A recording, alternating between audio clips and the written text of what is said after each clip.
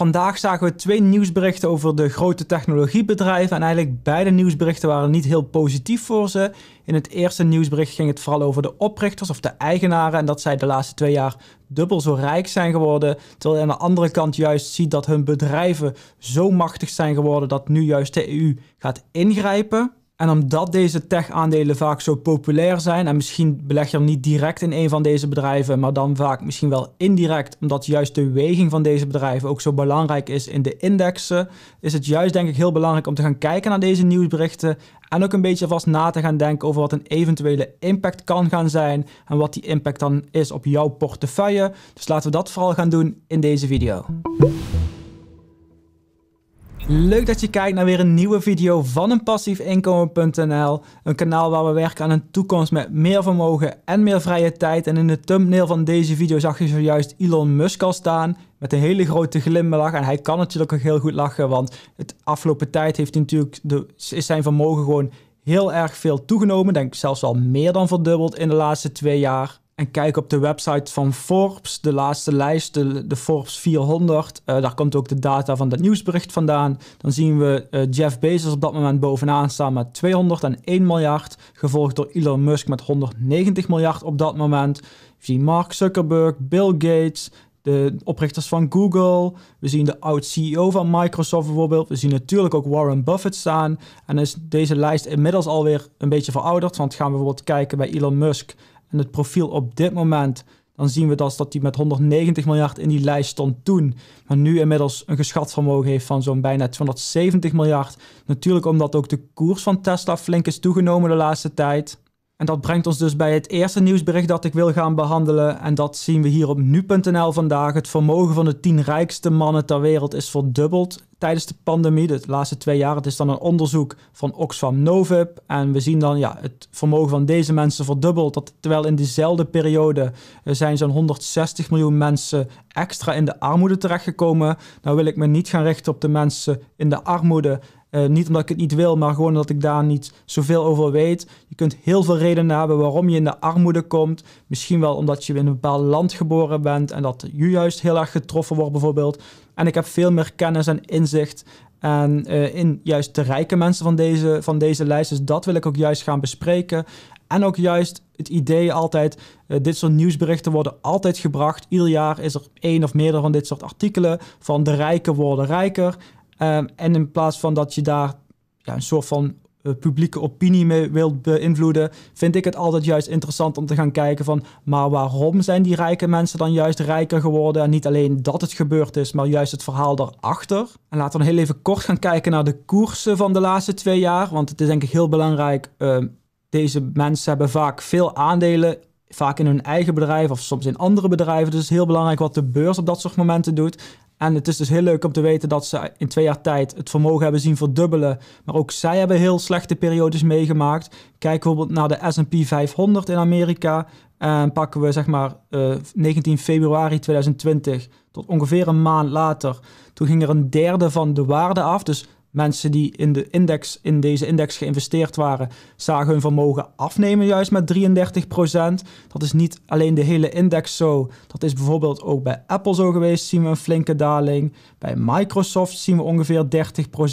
En dat valt nog mee als je het gaat vergelijken met Elon Musk. Want kijk je naar Tesla, waar hij natuurlijk heel veel aandelen heeft, dan zien we dat eigenlijk in diezelfde periode van begin 2020, uh, eh, februari, ik het even, hè, even zo doen ongeveer een maandje later, 22 handelsdagen later, meer dan 60% dat er vanaf is gegaan. Dus waarom lezen we op dat soort momenten dat niet? Niet dat we dan medelijden met ze moeten gaan krijgen, maar uh, waarom zien we dat dan niet in nieuwsberichten terug? Dat mensen ook op dit soort momenten misschien wel meer dan hun vermogen zien halveren. Maar weer even terug naar dus die rijkste 10 mensen en waarom dus eigenlijk zij hun vermogen hebben zien verdubbelen. Dat heeft er denk ik al mee te maken met beslissingen die zij misschien jaren, 5 jaar, 10 jaar, 20 jaar geleden hebben genomen. Of misschien zelfs wel langer in het geval van Warren Buffett. Maar het zijn vaak aan de ene kant investeerders beleggers of aan de andere kant ondernemers of misschien wel beide.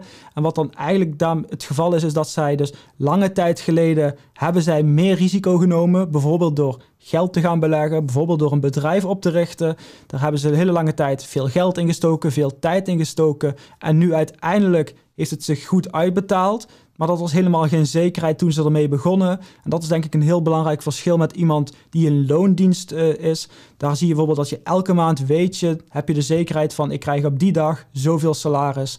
Uh, of ik nu hard werk of minder hard werk, eventjes ziek ben bijvoorbeeld, dan wordt dat betaald. Maar juist in een periode van coronacrisis kan het zo zijn dat het juist heel goed gaat met bedrijven, dat de winstgevendheid toeneemt, maar dat het juist dat jij als werknemer zijnde daar niet van profiteert of juist een nadeel van hebt. Misschien werk je wel in een sector die juist een nadeel heeft en misschien wel juist je baan kwijtraakt op dit soort momenten. Dus dat is denk ik een heel belangrijke reden uh, tussen aan de ene kant werknemers die gaan voor maandelijkse zekerheid van een salaris of ondernemers die juist kijken op de lange termijn ja, aan de ene kant dan ook spreiding hebben van inkomen en vermogen. Dus soms gaat het beter, soms gaat het minder. En kijken nu in dit geval naar deze tien mannen dat het zijn, dan zijn het eigenlijk allemaal uh, bedrijven die juist hebben kunnen profiteren van deze crisis. Ze hebben natuurlijk het geluk gehad dat zij net in de sector hadden, net op het goede moment het juiste product of de juiste dienst aanboden. Of in ieder geval geïnvesteerd hadden in deze bedrijven. Want ze hadden ook juist in een andere sector kunnen zitten. En dan waren ze ook wat betreft vermogen misschien wel gehalveerd. Maar als we gaan kijken naar die bedrijven die we net zagen, is het Amazon. Iedereen heeft natuurlijk winkels zijn gesloten, dus gaat online winkelen. Microsoft, online producten, Google. Uh, dit zijn allemaal producten die we dagelijks gebruiken. En juist omdat we ze dagelijks gebruiken, uh, zijn ze heel winstgevend we zijn ze eigenlijk alleen maar meer gaan gebruiken de laatste tijd. Ze zorgen er ook voor dat wij vaak nog konden blijven werken bijvoorbeeld. Of dat we misschien in onze vrije tijd uh, op Facebook meer tijd doorbrengen. Het zijn dus juist deze dingen die, um, die wij veel gebruiken. En dat zorgt er denk ik ook voor dat ze juist uh, ja, zij ervan hebben kunnen profiteren. Maar het zorgt natuurlijk ook voor dat de bedrijven van deze producten, van deze diensten, juist heel veel macht krijgen. En dat is eigenlijk het tweede nieuwsbericht dat ik wil gaan bekijken. Want we lezen op de website van de NOS dat de EU, de Europese Unie dus, uh, zich nu ook weer richt met nieuwe wetgeving juist op deze grote technologiebedrijven. En het heeft dan natuurlijk alles mee te maken met uh, het ene kant machtsmisbruik dat ze hebben, of in ieder geval dat zij zoveel macht hebben dat ze eigenlijk bewust of onbewust ons bepaalde dingen uh, laten doen of laten kiezen. De NOS pakt hier als voorbeeld uh, de App Store van, uh, van Apple. Ze zeggen dan ook, ja, de, de App Store is eigenlijk het enige, de enige plek waar consumenten met iPhones en iPads apps kunnen vinden. En dat gaat dus waarschijnlijk veranderen en dat kan ervoor zorgen dat Apple dus ook miljarden, dat er miljarden voor Apple op het spel staan. Heel belangrijk in dit nieuwsbericht, in deze nieuwe uh, regelgeving, wordt de term poortwachters. Dat geeft eigenlijk aan uh, ja, hoe groot is een bedrijf en hoeveel invloed hebben zij op wie er toegang krijgt tot een bepaalde markt waar zij op actief zijn. Dat kan bijvoorbeeld zijn in het geval van Google of Facebook met advertenties, of in het geval van Apple juist met hun App Store. Maar we lezen tegelijkertijd iets verder naar beneden dat het ook ja, um, mensen denken nu ook van, ja, er kunnen wel regels komen, maar of ze ook het gaan bereiken wat ze willen bereiken is heel erg lastig. En het is misschien juist wel heel erg belangrijk, zeker als investeerder zijnde, als je deze aandelen hebt of in de hele markt dus geïnvesteerd bent, om daar misschien wel even over na te denken, over wat mogelijk de impact kan gaan zijn. En laat ook vooral weten wat jij denkt in de reacties onder deze video. Natuurlijk hoor je zo meteen wat ik denk, maar ik denk dat het juist ook uh, interessant is om te zien of te lezen wat jij ervan denkt, wat andere kijkers ervan denken, dat we allemaal van elkaar juist daarvan kunnen leren. Jij let op iets anders dan ik let. En dat kunnen we wel allemaal meenemen in ons eigen onderzoek en ook in de waardering van dit soort aandelen. Maar ik denk dus vooral dat het ten eerste heel belangrijk is om te gaan kijken van uh, er kan wel regelgeving komen. En wat is dan de impact? Nou, dat weet je helemaal niet van tevoren. Want pak we als voorbeeld uh, Google als zoekmachine. Dat nu misschien een alternatief op de markt kan komen of dat die toegestaan moet gaan worden, wil niet zeggen dat mensen hem gaan gebruiken. Ik denk jaren geleden al uh, is het al afgeschaft dat Google niet meer de standaard zoekmachine was op jouw nieuwe computer bijvoorbeeld. En nog steeds is Google wat betreft zoekmachine gewoon heel erg dominant. Mensen zijn het gewend. Mensen gebruiken Google juist als een soort van werkwoord wanneer je iets gaat opzoeken. Dus Uh, het gedrag van mensen is heel moeilijk te veranderen. En dat gaat zomaar niet lukken met een nieuwe wet of regelgeving die er komt. En datzelfde geldt misschien ook wel voor die App Store die we net zagen, de Apple App Store. Dat er misschien toegestaan moet worden dat mensen ook op een andere manier een app kunnen downloaden. Dat is natuurlijk heel erg goed. De vraag is alleen, gaan mensen dat ook gebruiken? Mensen die vaak Apple-producten kopen, in ieder geval zelf doe ik dat. Uh, waarom koop ik Apple-producten? Omdat ik de gebruikerservaring gewoon heel fijn vind. Uh, het is heel simpel, netjes. En die ervaring heb je misschien niet in een alternatieve App Store. Dus ja, dan ga je al vrij snel, je bent het gewend aan de ene kant. Het andere product werkt fijner, dan blijf je misschien toch wel juist bij de App Store van Apple zelf hangen. Al kan natuurlijk wel voor zorgen dat een bepaald aantal mensen wel overstapt en dat daardoor de winstgevendheid van de App Store afneemt. Of misschien Apple hun tarieven moet verlagen om juist te concurreren of aan nieuwe wetgeving te voldoen. En dat kan natuurlijk wel impact hebben. En dat is ook weer een ander onderdeel van de impact die het gaat hebben van hoeveel omzet halen ze eigenlijk uit de EU. Want daar zijn deze regels van toepassing. Ook Amerika is trouwens al bezig, maar laten we in dit nieuwsbericht even gaan kijken naar de EU. In het geval van Facebook bijvoorbeeld, ongeveer een kwart van de omzet in het laatste kwartaal kwam uit de EU. Dus dat is duidelijk te meten. Bij Apple zal dat wat lastiger zijn, want je gaat niet alleen kijken naar de App Store op zich, maar kopen mensen misschien daardoor minder snel een iPhone of juist niet? Dus ook dat kan van invloed zijn. En dat is natuurlijk van ieder bedrijf is dat anders. Voor het ene bedrijf zal een bepaalde regel meer impact hebben dan voor een ander bedrijf. Maar wat denk ik vooral dus belangrijk is, is wat die impact gaat zijn op de winstgevendheid van een bedrijf. En dat is nu denk ik nog behoorlijk lastig in te schatten. Tenminste, dat vind ik op dit moment juist ook omdat de regels nog niet, ja, niet specifiek bekend zijn. Maar het is denk ik al wel goed om daarover na te denken. En juist ook na te denken voor dit soort techbedrijven. Want dat zeg ik ook al langere tijd. Het zijn vaak juist deze bedrijven die nog de index hoog houden. De koersen van indexen. Die juist een hoog PE-ratio hebben. Een hoge multiple van de winst. Dus gaat de winst met een paar miljard onderuit. Dan betekent dat een veel grotere impact op de beurskoers. Omdat juist bijvoorbeeld bij Apple of Google ligt misschien de PE-ratio op dit moment wel 20. Nee, sorry.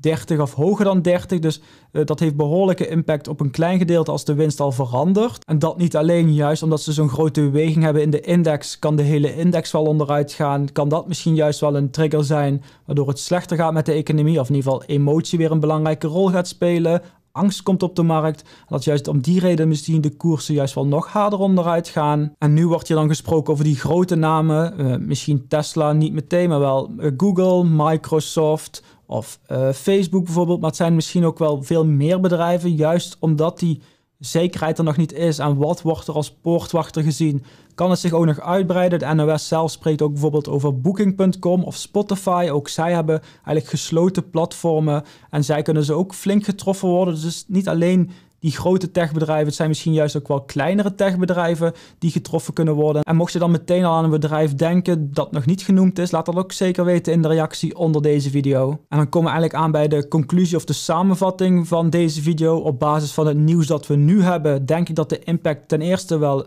het eerste ogenblik wel mee zal vallen.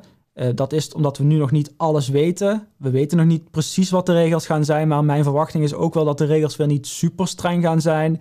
Ten eerste zullen zij wel weer omwegen verzinnen. Aan de andere kant, ze zijn zo machtig. Ze gaan natuurlijk ook lobbyen om deze regels, als ze er komen, ja, zo min mogelijk impact te laten hebben. Maar wat denk ik vooral dus belangrijk is voor de impact, is het gedrag. Mensen gaan echt niet in één keer geen iPhone meer kopen omdat er een alternatief is voor een App Store bijvoorbeeld. Of ze gaan in één keer geen Google meer gebruiken als zoekmachine omdat er een alternatief is. Het gedrag van mensen zal niet veranderen. En dat zal er ook voor zorgen dat eigenlijk het verdienmodel of de winstgevendheid van deze bedrijven zeker niet zo snel zal gaan veranderen. Maar tenminste, dat is mijn inzicht, hoe ik er nu tegenaan kijk. Maar aan de andere kant, als er dan een verandering komt, dan zal het er ook voor zorgen dat het enorm hard aankomt. Juist als eenmaal het gedrag gaat veranderen, als die winstgevendheid gaat veranderen.